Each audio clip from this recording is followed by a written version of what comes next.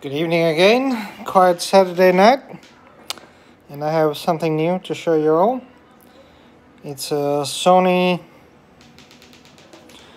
ST333S AM FM tuner, but um, it's also have it's got shortwave 1 and 2, which is the reason I bought it. It's got a beautiful dial and it's fascinating, so I have to share it because it's quite unusual. But let's have a look at inside first. I bought it for parts and then it was kind of too nice to to strip and it didn't actually have a lot of transistors in it. So there's not a lot of info on these on the web. So take note, uh, this is the main AM FM processing IC. Um, this is actually the stereo decoding IC. Uh, and a few coils, not very much. This is the AM tuner, self, sorry, the FM tuner, self-contained. So I was hoping to get a lot of transistors and coils that I would strip, but um, in fact, it doesn't even have a tuning capacitor, as you can see. There is no tuning capacitor anyway. It took me a while to figure out. You can see the cord, it actually goes nowhere apart from the dial. But here's the beauty of this. This radio has no tuning capacitor, but it's got a lot of varactors, which is a variable diode. And the whole radio works off variable capacitance diodes. So when you turn this knob, you're turning a resistor. When you uh, set the presets, you're picking different resistances, which give different voltages to the RF. So let me take you through. It's quite fascinating. I wanted the big capacitor to strip and it's not there, so it survives. Lives another day. But I have to show you how you actually do the preset. So you have to, it's very hard with one hand, but you have to move it till you get it near the red dot that you want, like there. And then you basically hold it, I'll try and do it, you basically push down the button to pre-select say FM oh actually I'm on a um, yeah I'm on FM let me switch to let me just go to medium wave. Yes I'm on medium wave. So you basically drag those little round red LEDs around. So you go to the station you want. I'll turn up the volume so you can listen. The Wickersham report really was sort of this turning point and we need to do something You press the medium wave button and watch this. I'll try and do it. Uh, it's very hard. I'll have to do it with the other hand.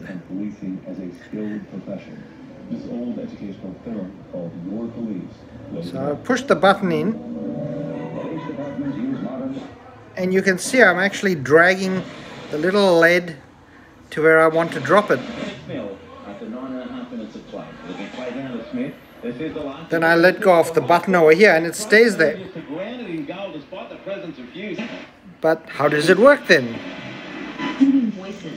So you need to switch this to what's called program select where it works off all the variable um, resistors that are in here. Now if I push the AM button notice that lights up if I push the next station that lights up. Oh, so wherever I previously dropped one of those LEDs, physically it will now remember that station. And I can just go AM, see that's FM, at the top. It's another FM station, and I can just go straight to AM. I think that part is. AM, FM, AM, FM. And if I want to change the FM station, I do sort of the same thing. I need to push the selector button down here. I'll try and move that. Uh, no, where is? I need to go pick one. I need to go find one first that I am going to drag around. There. Now I'm going to drag it Can you kill me old man? Yeah, I'll try it again. too far.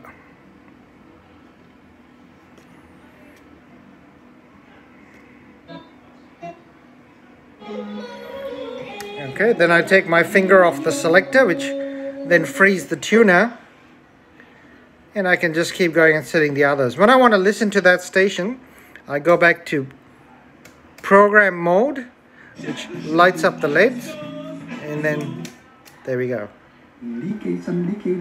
Station, I just put it.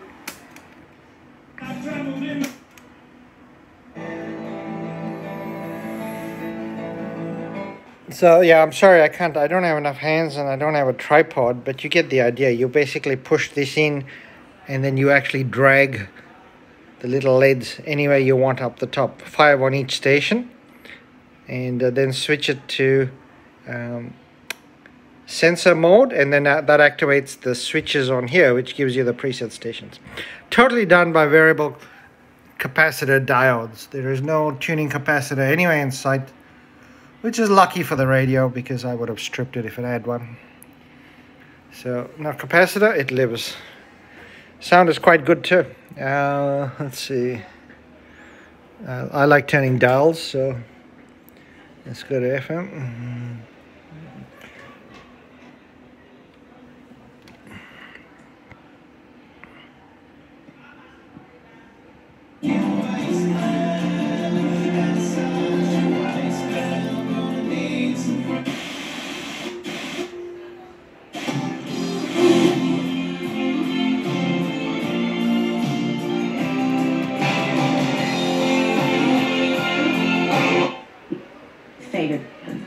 Very excited to be one of the first to listen to it and give them a cheeky bit of feedback. Just using it's my a real treat, audio. girls.